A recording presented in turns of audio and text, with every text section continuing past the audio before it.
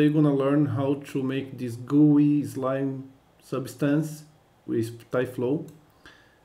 I use it in my video here. The 3D model is from Sketchfab. And also this other model, this other video is more simple setup. I'm gonna go through it with you. And none of this would be possible without Mohammed he posted originally the his result in video. He used also um, Phoenix here for the extra drips, very nice. And he posted the tyFlow, the flow itself. And then EPI, also thank you very much. He was kind enough to share the files with me. He posted the group also, and that's why I understood. And now I'm gonna show you exactly step by step of how to make this effect. Let's go. The logic behind this effect is we're going to spread some particles in one face and particles on the other face and then we're going to bind them right and in another event we are going to create a bind between those bindings so it will be something like that. And then the one operator will shrink those um, those bindings and then we'll make them to bulge. So you get this effect of slime when they are pulling apart. My model has two different face ID so this one is number one and this is number two, the same for the top. First, we birth some particles, 0, 0, 100 particles. If need, later we increase this to create more slime. Then we add to position object. Then we select our part and then we make a object bind. So the particles will always follow the part. And in object face because we select different uh, areas that you want the particles then we here we select the material ID so now it's attached there just to visualize large dots. Now what we can do to make life simple is to copy this event and paste this event here and just switch the sides.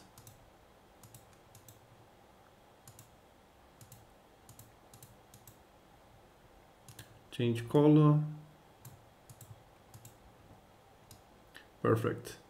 So how these particles will find those one is through the operator set target and we use by proximity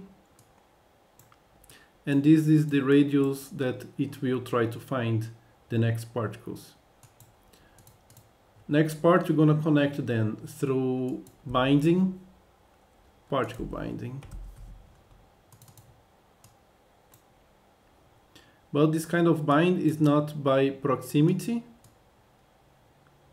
Let's show binding so you can visualize them is by target binding. It's already selected here. Sometimes this can happen. Look what happened if I transfer here, it will connect, but not here. Basically, this is about the evaluation priority. So if you want to from the top match down, then this need to be set to second, and this will be the first. Next step is to create a bunch of particles on those bindings. So use resample. Remember to put this time into continuous. Create a new event. Any threshold, in my case I will put around 5. And here now I will create a group, particle group, because we want to separate those particles from those here when we make the new binding. So I will put number 2 and interpolate not siblings but particle bindings. So now you have all the particles that we send to this new event here. And we group them in number two. So next step is create another particle binding.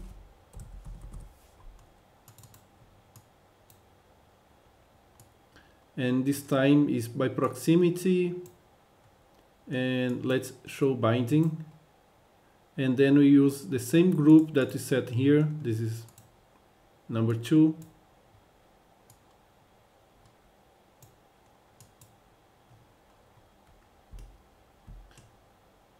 And let's put a brighter color so you can see the bindings. Let's here put uh, three bindings and the multiplier you can increase until you see the bindings happening Now to shrink those connections, we use modify bindings. First we put this in continuous and then multiply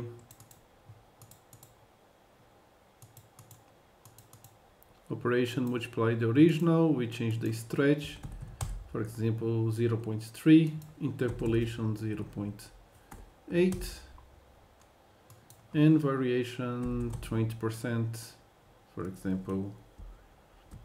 And if it's too much of course we can change it to our taste.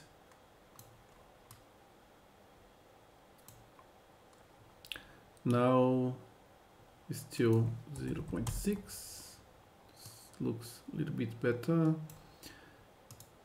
one thing that we can do to clean up this a little bit is to use a stop operator on the on the top. Let's see on, off, on looks better. Also a slow operator helps calm down everything.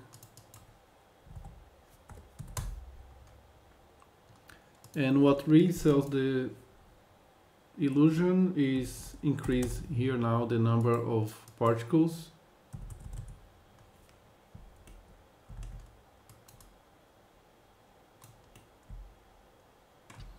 And modifying bindings that's those bindings here right? We can increase the number of bindings. And the search area now is 10 let's put 15 this is the parameters that you can use to modify the visualization that you want. Another cleanup to do is that you see that when it's stretching it's going to the center here. So what we can do to address that is to add a particle switch. In this event we deactivate the bindings also in this event we deactivate the bindings and here just press shift and drag so you're copying it. Then here we are activating it back. So now you see that it's not dragging to the center of those bindings here. So it stays more in place. So that's good. Another thing that worth to mention is the stiffness of the second binding will play a big role in your uh, visualization. It's C0.5 is more a little bit relaxed and so on. So play with this value also will be quite interesting. This is my setup for the tiger. Uh, exactly the same as you can see here on the side. I just put gravity, tweak some values, but let's see in the practical how I use it.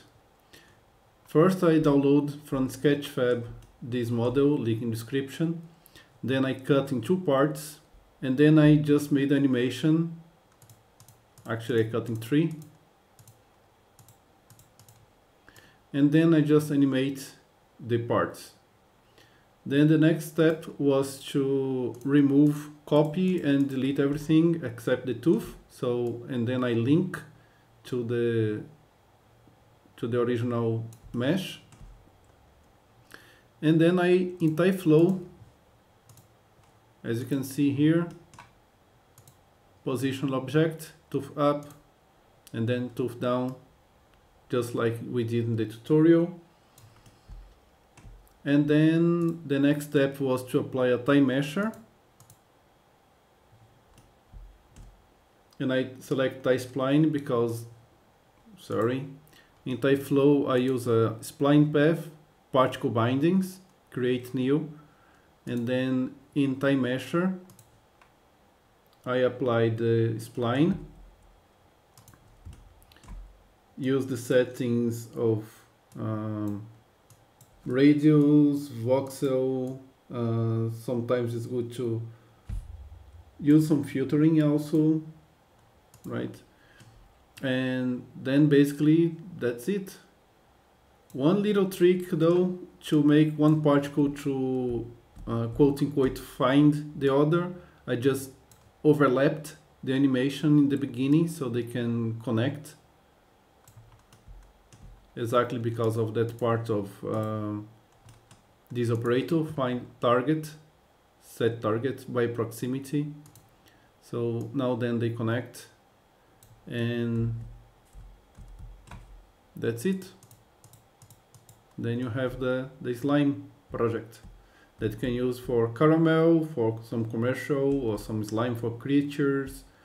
And yeah. Hope you like it. If you do something uh, comment here. I can show in my next video. And also subscribe please. It helps me. And see you next one